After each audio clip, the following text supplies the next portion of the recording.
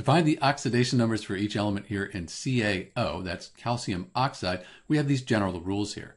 So calcium oxide, that's a neutral compound. There's no plus or minus up here like you'd see with ions. So with a neutral compound, all the oxidation numbers, they add up to zero. That'll help us figure out the oxidation numbers and make sure we're correct with CaO. Let's see, calcium, group 2 on the periodic table, those are always plus 2. Oxygen?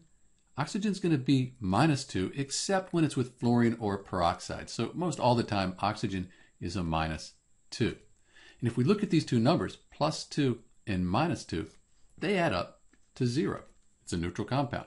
So that makes sense. And these are the oxidation numbers for CaO, calcium oxide. This is Dr. B, and thanks for watching.